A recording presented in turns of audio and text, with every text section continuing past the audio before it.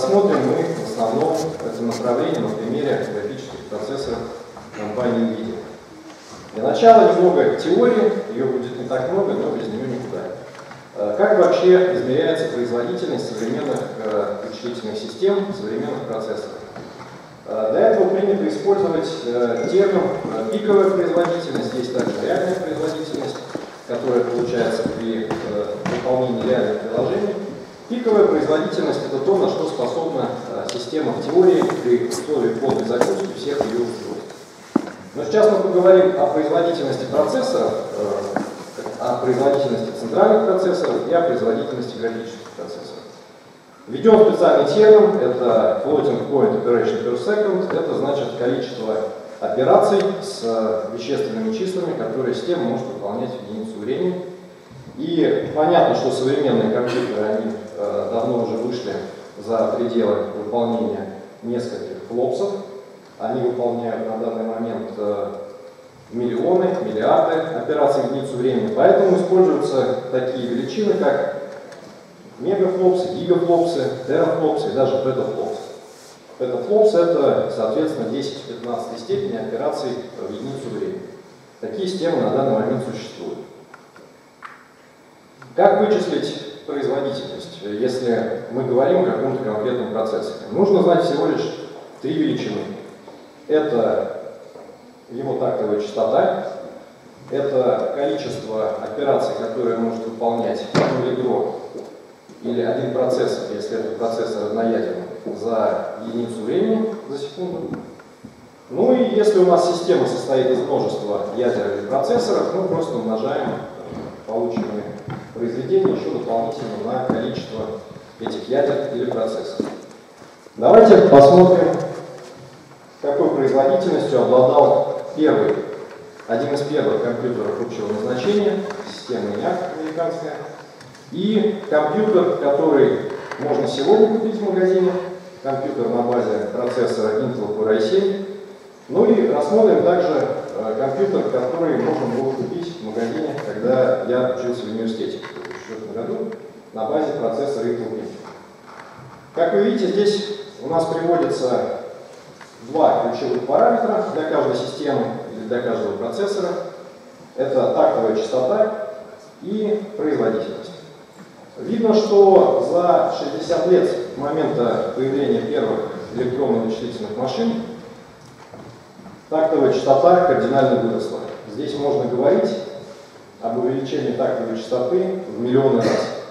И именно рост тактовой частоты служил основным драйвером роста производительности вычислительных систем э, в прошлом веке. Вы можете заметить, что производительность увеличилась э, больше, чем тактовая частота. Эти успехи получены за счет развития архитектуры вычислительных систем, за счет э, в том числе внедрения параллельной обработки данных внутри отдельного процессора. Но вот этот процессор Intel Pentium 4, который э, был популярен 10 лет назад, он был одноядерным. Хотя он мог выполнять две операции за такт, но э, он состоял только из одного ядра. Это был фактически последний э, процессор, э, последний одноядерный процессор компании Intel, дальше э, и компания Intel, и другие, другие разработчики процессоров, они пошли в сторону наращивания количества ядер, то есть в сторону многоядерности. И если посмотреть на современные процессоры, то э, вы увидите там несколько э, ядер. Ну, вот на топовых моделях можно увидеть около 10 процессорных ядер. Причем каждое это ядро может выполнять э, уже не 2 операции за такт, а до 16 операций за такт. Это производится за счет внедрения обработки векторов или векторизации. Таким образом, можно наблюдать, что в первое время развития центральных процессоров и вычислительных систем в целом в основном производительность наращивалась за счет роста тактовой частоты, но около 10 лет назад мы вступили в эпоху параллельной обработки, и параллельная обработка вышла из мира суперкомпьютеров и э, вошла в мир персональных компьютеров. И у каждого в руках теперь, э, в принципе, находится э, небольшой суперкомпьютер, если сравнивать его производительность с системой прошлого времени. Теперь перейдем к предмету нашего разговора, к графическим процессорам. Если э, один из топовых центральных процессоров, который был на предыдущем слайде, мог выполнять около полутерафлопса, э, точнее имел производительность около полутерафлопса, то, э, скажем, современная графическая карта GeForce, которую можно найти э, в системном блоке какого-либо геймера, обладает гораздо большей производительностью. Производительность этой карты составляет 3,5 терафлопса. Ну, э, здесь речь идет о выполнении операций с вещественными числами в одинарной точности, которые не очень активно используются э, при решении реальных прикладных задач, но так или иначе тоже востребованы. Если говорить про GeForce, то э, его производительность э, с операциями двойной точности гораздо меньше. Но кроме GeForce у компании NVIDIA, например, существует линейка профессиональных графических карт. Эти карты предназначены исключительно для вычислений, а не для визуализации. Например, карточка NVIDIA Tesla K40, которая обладает уже пиковой производительностью при проведении операций с двойной точностью около полутора терафлопс, то есть в разы больше, чем э, может обрабатывать данные э, центральный процесс. За счет чего это достигается, в принципе, видно из этого слайда. Э, в основном это достигается за счет э, той же самой многоядерности. И количество ядер в современных графических процессорах э, составляет от сотен ядер до тысяч ядер. То есть можно найти графические карты, которые имеют до 3000 ядер в настоящее время. Вообще многоядерность для графических процессоров она появилась естественным образом, так как изначально эти вычислительные устройства они предназначались для визуализации, то есть для обработки Э, большого количества графической информации и для э, их отображения на экране монитора. И идеи параллельной обработки, в общем-то, были реализованы там с самого начала. Для сравнения я здесь привожу э, суперкомпьютер. Это большая система, которая была самой мощной в мире в конце 90-х годов. Производительность этой системы, построенной в Америке, составляла как раз э, чуть больше одного терафлопса. То есть сейчас по прошествии, можно сказать, э, чуть более чем 15 лет, э, мы имеем возможность считать э, с той же самой производительностью, с которой, скажем, наши родители и не мечтали считать. То есть такой производительности просто-напросто не было. У каждого она была сконцентрирована только в самых мощных, крупнейших суперкомпьютерных центрах, Соответственно, стоили эти системы дорого и потребляли они много энергии, а сейчас это все можно разместить у нас на столе или под столом. Но э, на самом деле бурное развитие э, этого направления, использования графических процессоров для вычислений, э, оно появилось, э, ну, в общем-то, тоже около 15 лет назад, в начале 2000-х годов, э, когда в различных университетах э, исследователи, они задумались о возможности использования графических процессоров для решения своих прикладных задач, а не для визуализации.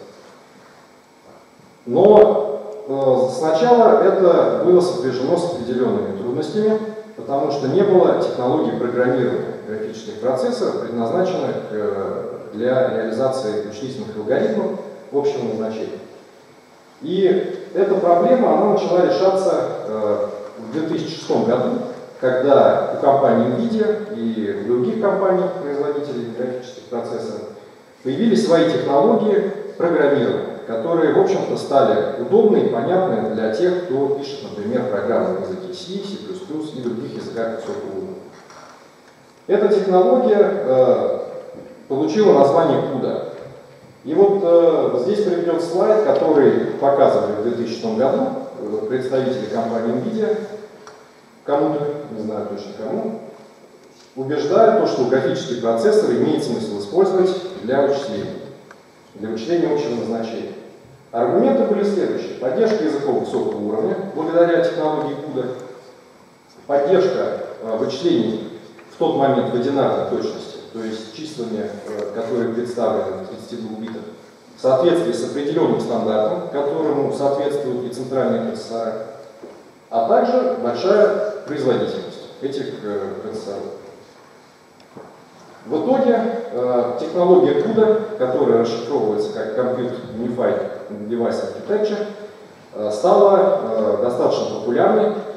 Эта технология это фактически не просто технология программирования, это архитектура. Она описывает устройство графических процессоров компании NVIDIA, и она предлагает инструменты разработки приложений для тех, кто хочет ускорить свои программы И э, Эту технологию на данный момент поддерживают уже множество языков высокого уровня.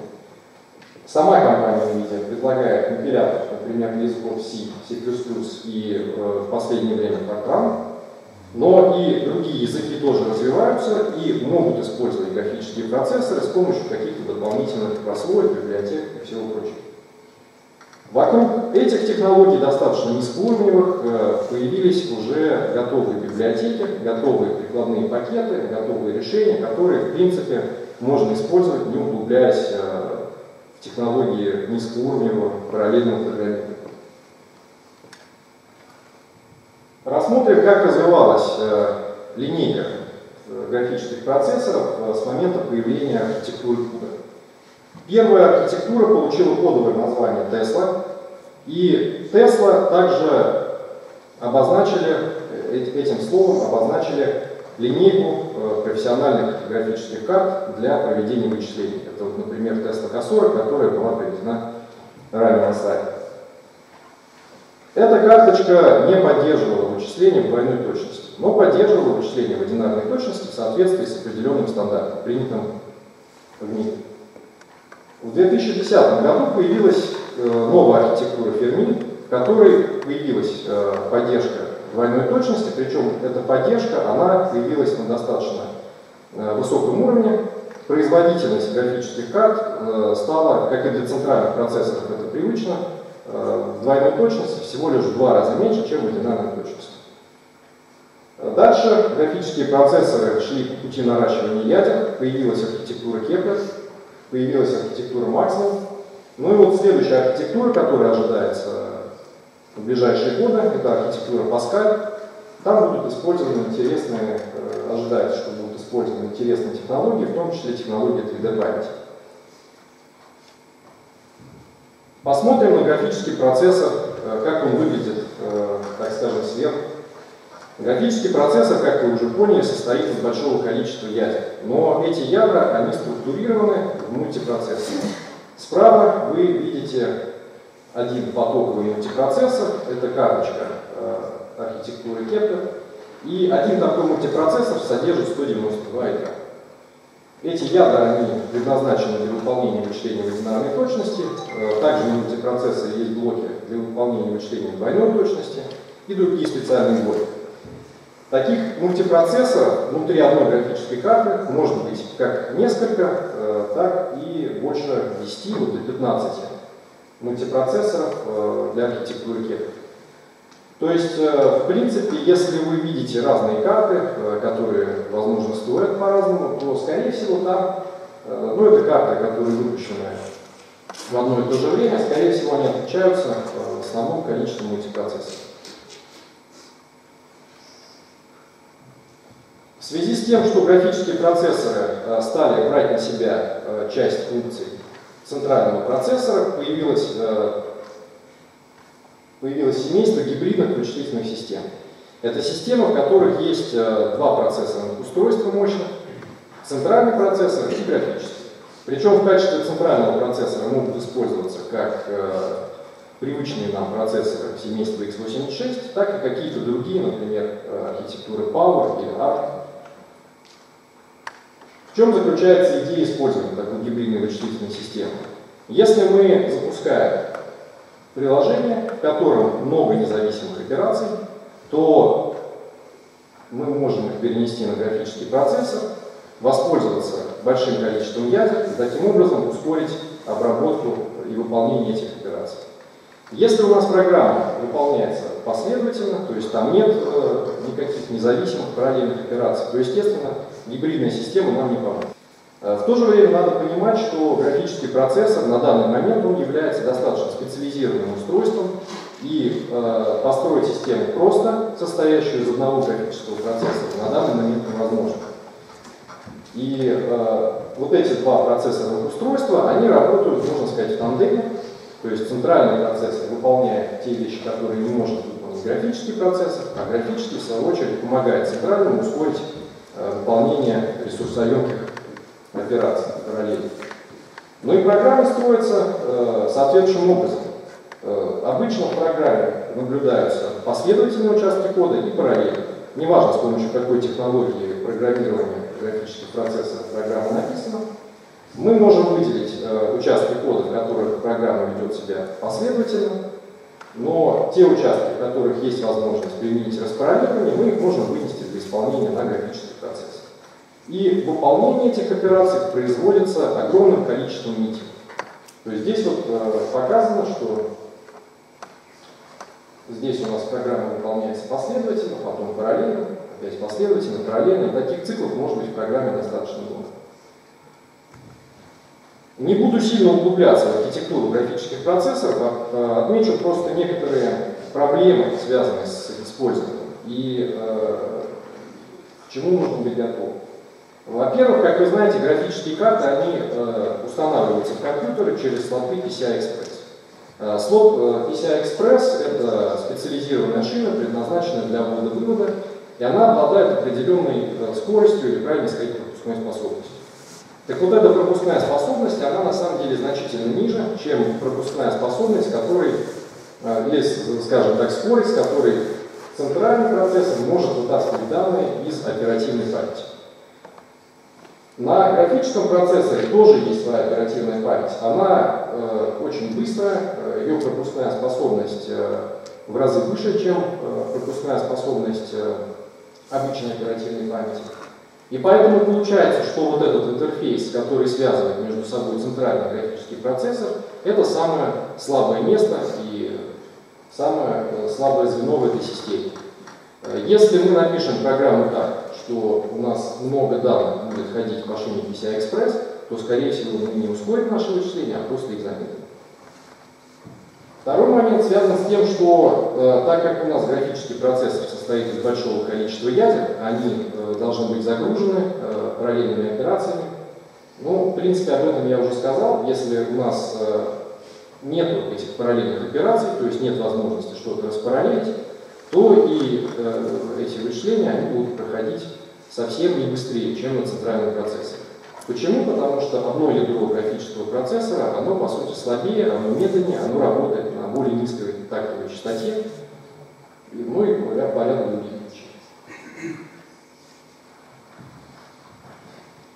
Графические процессоры, как мощные ускорители вычислений, э, стали активно использоваться в мире суперкомпьютерных э, технологий. И э, если заглянуть в список самых мощных систем в мире, вы найдете там достаточно много систем, в основе которых используются как центральные, так и графические процессоры. Один из самых мощных суперкомпьютеров нашего времени – это система Titan, которая стоит в американском научном центре. Она состоит из огромного количества процессоров, как центральных, так и графических, и ее производительность составляет около 20 петафлопс. Это у нас 2 на 10-16 степени операций в одну секунду. Одна из первых систем, в которой появились графические процессоры и которая заняла э, лидирующие места в списке самых быстрых компьютеров, это китайская система Tianhe.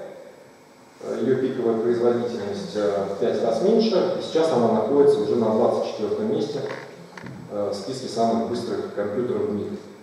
В России тоже есть такие системы.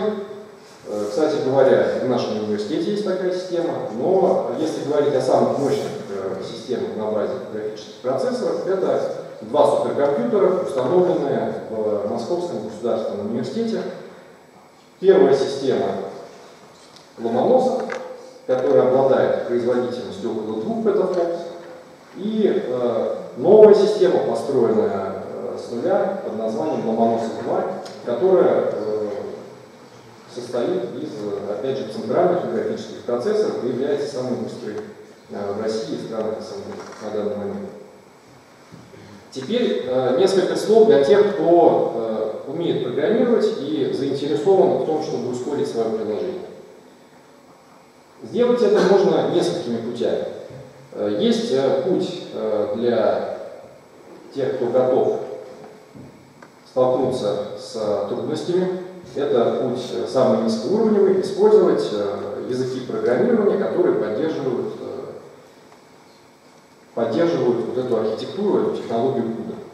Хотя технология CUDA за э, то время, которое она существует, она очень сильно изменилась, и она очень сильно упростилась. Но все равно, если вот рассматривать три э, этих подхода, это будет самый тяжелый, наверное, способ. Но этот способ, он, как всегда, дает э, самый лучший результат. То есть это максимальная производительность вашего приложения. Э, есть подход, который появился несколько позднее, э, он тоже требует изменения программы, но совершенно незначительного. Можно ускорить приложение путем переноса вычислений на графический процессор с помощью специальных директив. Немножко я об этом расскажу. Эта технология называется OpenACC. И э, путь для самых ленивых – это использование библиотек. Э, можно посмотреть, э, существуют ли готовые решения, э, предназначенные для того, чтобы реализовать вашу задачу. Э, решений на самом деле достаточно много, какие-то из них открытые, какие-то коммерческие, но зачастую можно вообще не связываться с программированием под графический процессор, а добавить э, вызовы сторонних библиотек, которые сами все это делают. Если говорить про OpenACC, это открытый стандарт, который развивается компанией NVIDIA несколькими другими э, крупными э, компаниями из суперкомпьютерной отрасли. Скоро этот стандарт будет поддерживаться, я надеюсь, полноценно в открытом линуксовом компиляторе свободно распространяемом UTC. Но на данный момент он поддерживается тремя компиляторами компаниями Cray, PGI и Caps. Причем э, эти э, компиляторы, они вообще говоря коммерческие, но для студентов, для преподавателей недавно э, компилятор PGI начал предоставляться бесплатно.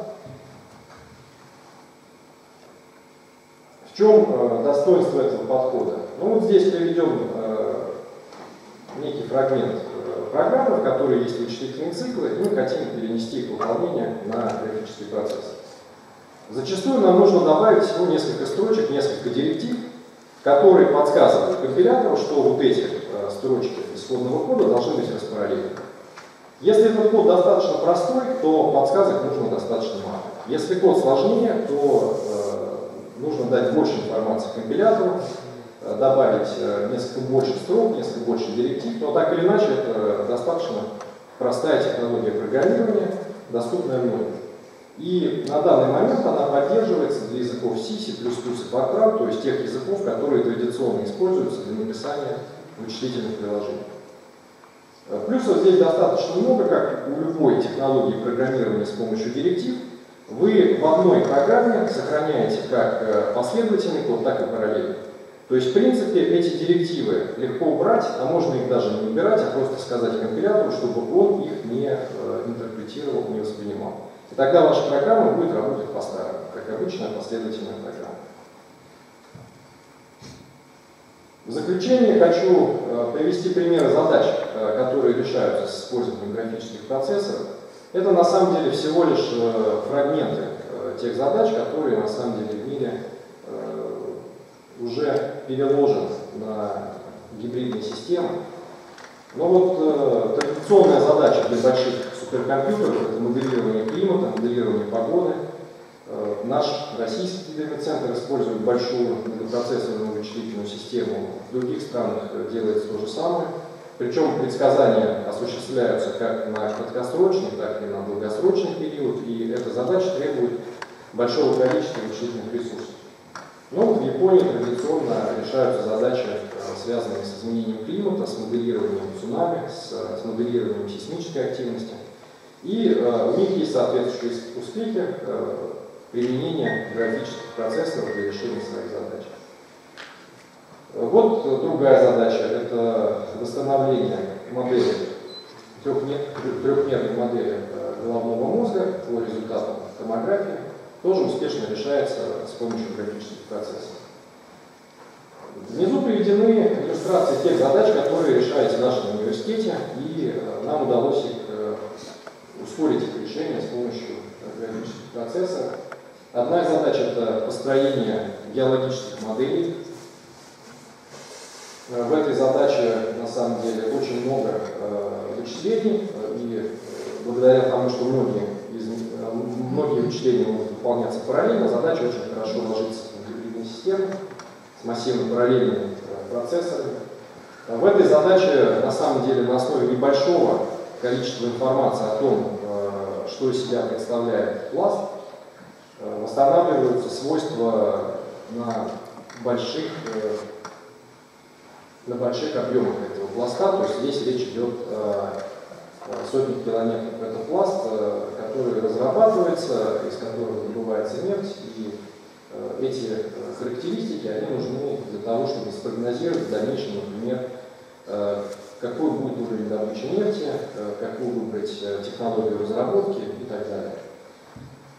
Вторая задача, которую мы успешно ускорили, это моделирование процесса линейной сварки трением, о которой любит рассказывать Сергей Иванов. Мы решали ее в разных пакетах в нашем университете, в том числе в пакете Commerce Convensis. Э, этот пакет э, уже несколько лет поддерживает э, расчеты на графических процессорах, и, соответственно, нам удалось несколько раз ускорить проведение вычислений. Ну и вот одна новая задача, которой начали заниматься недавно, она связана с, с расчетом структуры молекулярных соединений. Здесь приведено соединение э, на основе комплекса хитозана. Э, вот это изображение, оно получено в результате квантово-химического расчета э, в пакете Террачем, который заточен только под графические процессоры. Он написан был не так давно, и разработчики изначально решили писать свою программу под графические процессоры NVIDIA. Э, недавно мы сравнивали, э, сколько времени заняло бы решение этой задачи на обычных центральных процессорах. Правда, при сравнении мы использовали другой пакет, потому что Карачен не поддерживает расчеты на обычных э, процессорах. Ну и получилось, что ускорение составляет около 50 раз. На этом у меня все. Готов ответить на ваши вопросы.